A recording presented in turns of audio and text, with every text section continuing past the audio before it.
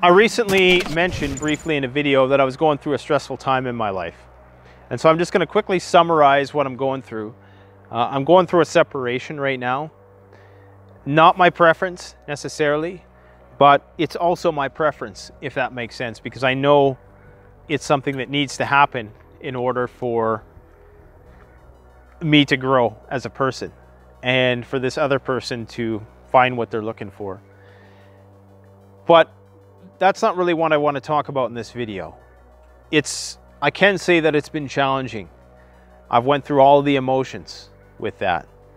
Uh, you know, there's periods of sadness, despair, anger, rage, and then there's these very euphoric, flighty periods where, you know, you're imagining all the possibilities of the future and what could be and it seems to just be a, a, zigzag back and forth between all these emotions. But what I can say is that survivalism and prepping, if you are partaking in these things and if you are really doing these things, if you are going out there into the field, putting yourself in stressful situations and trying to get out of those situations, that is going to carry over into dealing with these everyday life crises like the one that I'm facing right now. And what I've noticed is that my ability to process this stuff is just rapid.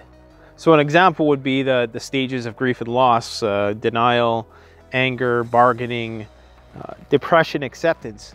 I find myself really fast tracking through that because I realize that I'm not going to let it interfere with my goals. I'm not going to let it destroy where I need to go.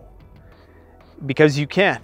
It's very easily to to crumble under the pressure of that situation, to buckle and to just make a victim of yourself and be at the other person's bidding. And it's very hard to, to draw the line between pride and doing what you know is good for yourself like it's very easy for it to, for it to come off as pride when really you're just trying to save face and be stoic in the face of uh, what could be a very emotionally turbulent and potentially violent situation.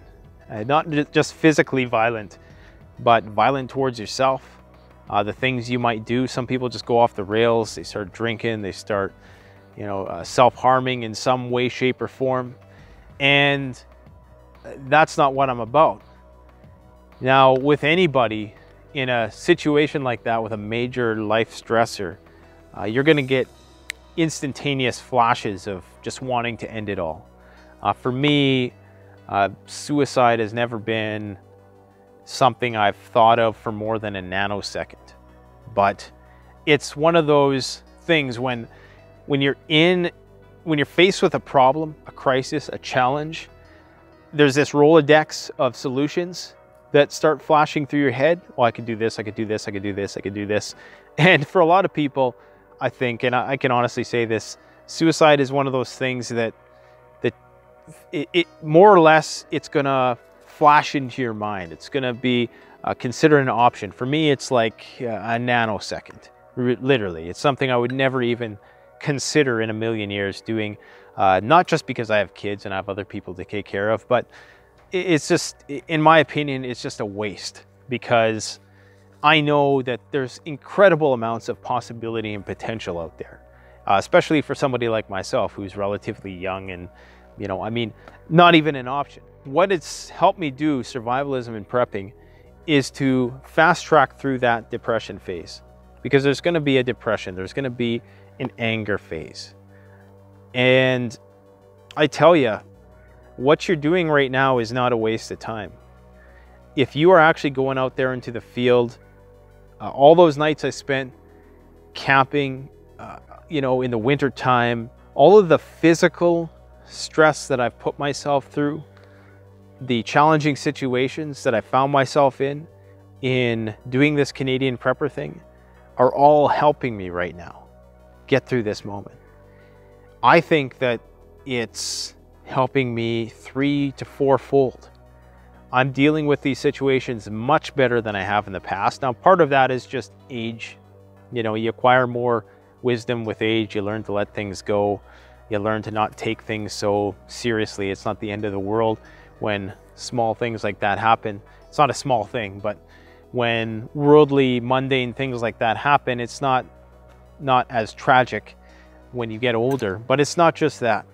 It's that all of these challenges that I put myself through have made me more resilient in the face of these things. So I guess the message I would like to communicate to you today in my experience, uh, this prepping and survival stuff, it's not just about prepping for crap hits the fan because it's going to make you mentally stronger when you are faced with an inevitable crisis like that. It could be the loss of, you never know. I mean, heaven forbid you lose somebody really close to you in an untimely fashion, or you have a major, major uh, financial problem in your life, or you're in a relationship and you separate, you divorce, you got all the stress that comes along with that. Whatever the case might be, what we're doing here is going to help us. So it's not just it, that if crap hits the fan doesn't happen, all of this is going to be in vain. Because it, it's kind of like sports, and I usually harp on sports a lot. I think there's way too much attention paid to it in our society. I think we waste billions of dollars, which could be invested in so many amazing technologies that would uh, take us beyond the stars. But one thing I'll say about sports is it does teach kids something about, you know, like it does teach them social skills. Uh, there, there are certain things you learn which can be applied to other areas of life, which is what I'm trying to say. And the same thing holds true with survivalism and preparedness. You got to learn to let things go and accept things and move on. It's very easy to let it get to you and just want to give up. But if you can be strong enough to see the reasons why and to see that if you're in a situation where you're with somebody and you're not empowering each other and you're constantly bringing each other down, but there's always that hope in the back of your mind that, oh, if we could just correct this one thing or this thing, then maybe we could start communicating in a way which was synergistic in the sense that we were both building each other up or that we're creating something new out of nothing in a sense. Maybe we could do that if just this happened. But there comes a point, man, where you just got to say, you know what? Uh, there's so many buttons that are being pushed. There's so much ego, pride tied up in this that it's probably not going to happen unless there's some major, major epiphany on both sides. It has to be on both sides. And you have to be okay with the fact that you're probably going to be better off in spite of the financial hardship that you're going to endure, in spite of the time that it's going to take, because of course, two parents function much better than two single parents there's going to be a lot of things that you lose, but there's going to be a lot of things that you gain. And I do believe that the things that are going to be gained from this are going to be better. And if chance has it that it works out, which is right now, uh, the, the chances of that happening are incredibly small. Uh, if chance have it that, it that it works out, then great. But it's not going to come at the expense of either of our well-being. I want to say that I'm not looking for any pity in this video whatsoever.